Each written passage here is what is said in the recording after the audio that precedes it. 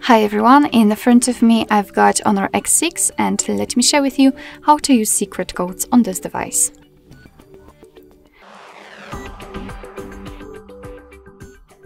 So first of all we have to open the dialer as it is the place where we can enter all of those codes and let me start with the shortest option which is asterisk pound 06 pound.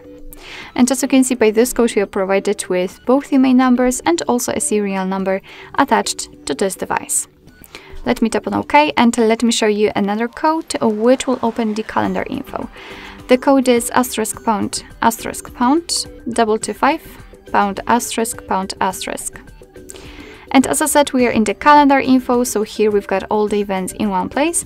Uh, we can check some family events, some holidays in your country should also appear right here, or events attached to your mail. So this is the best place to check the events because here they're grouped into particular sections. Let me go back and let me show you another code, um, basically the last code, which will open the diagnostic mode provided by Google.